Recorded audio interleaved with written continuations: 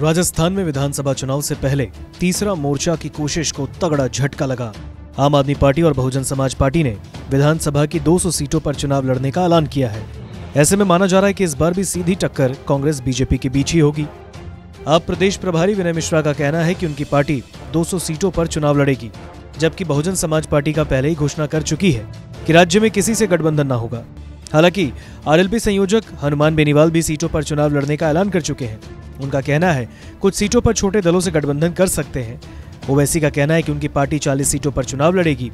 BTP और ओवैसी की party के बीच गठबंधन हो सकता है। हालाँकि अभी चुनाव के लिए नौ महीने का वक्त है। धीरे धीरे तस्वीर साफ़ होगी। राजस्थान में कांग्रेस बीजेपी से मुकाबले के लिए तीसरा मोर्चा बनने से पहले ही बिखरता दिख रहा है। छोटे दल एक दूसरे के खिलाफ ही ताल ठोक सकते हैं। बहुजन समाज पार्टी के प्रदेश अध्यक्ष भगवान सिंह बाबा का कहना है कि उनकी पार्टी किसी से गठबंधन नहीं करेगी। उनका कहना है कि बहुजन समाज पार्टी कांग्रेस और बीजेपी से दूरी बनाकर चलेगी। पार्टी दलित अल्पसंख्यक पिछड़ों के हक की लड़ाई लड़ रही है। पार्टी सभी जातियों के प्रत्याशियों को टिकट देती है।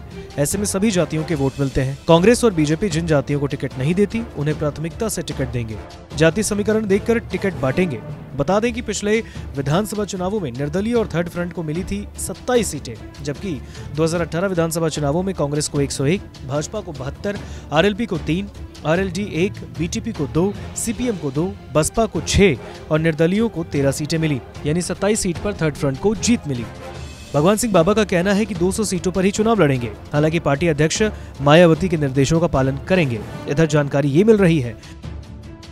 दरअसल, आरएलपी सुप्रीमो का कहना है कि 150 सीटों पर पार्टी कांग्रेस और बीजेपी को सीधी टक्कर देगी।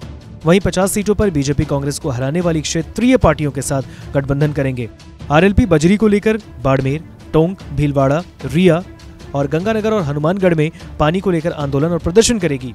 पेपर लीक को लेकर बड़े आंदोलन होंगे। अलवर और भरतपुर और जयपुर में ईआरसीपी को लेकर प्रदर्शन हो रहे हैं। तो पार्टी जल्द ही सदस्यता अभियान शुरू कर रही है। बीजेपी का प्रभाव भी आदिवासी क्षेत्रों में माना जाता है।